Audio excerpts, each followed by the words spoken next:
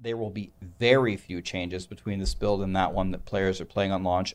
Deeply sorry for the confusion. So it's just bug fixes, Okay. and later on they're going to make balance changes.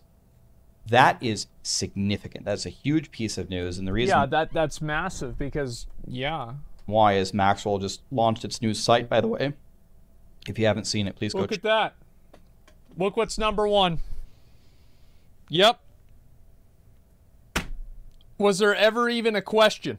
check it out. We made all of our tier lists, and you you know while the tier lists aren't perfect, there's no Mm-hmm. chance that any of them are perfect. We did put a lot of effort to try to figure out what would be at the top. For example, we know that Whirlwind, Twisting Blades, Yeah, Bone Spear. Death Trap, Pulverized Bone, and Bone Spirit, all of them are going to be godly. That's for sure.